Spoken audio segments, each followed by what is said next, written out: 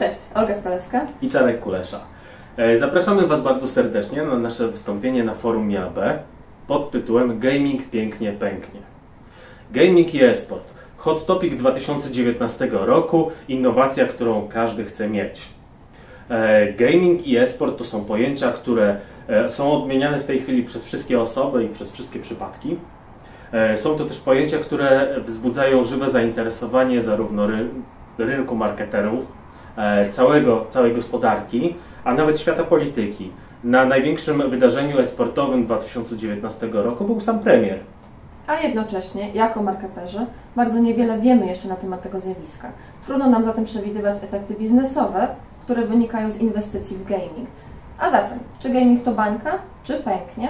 Co jest potrzebne dzisiaj marketerom, aby skutecznie planować komunikację marek w kontekście gamingu, aby marki rosły i aby budować pozytywne doświadczenia konsumentów z markami?